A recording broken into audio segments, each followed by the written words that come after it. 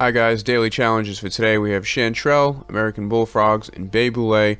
Unfortunately, I wasn't able to find a location where you can get all three of these conveniently located, so I apologize. I spent a good amount of time trying to find it, and uh, I failed miserably. So we also have distance traveled by wagon with a posse member, feathers sold, players kill with a rifle in free roam events, and then also posse races completed.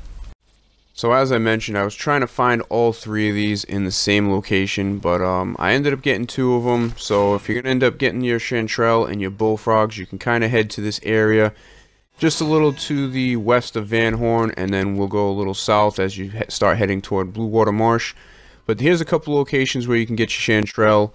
As you start moving south, you know, we're getting closer to the spot where we can get our bullfrogs. If you see on the map where my camp is, located just to the uh, east over here on the coast. This is probably the best spot I would say to get bullfrogs because there is a pretty good amount of them that do spawn over here. You can also go to the Blue Water Marsh where you can find them. So between these two locations, you can go ahead and get your bullfrog and your chanterelle.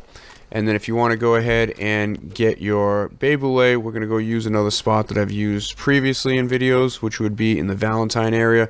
So you could come here, get your bullfrogs, your chanterelle, the good thing about that location is there's plenty of uh, spoonbills and pelicans, so you can also get the feathers that you need to sell for the challenge, and then just fast travel over Valentine.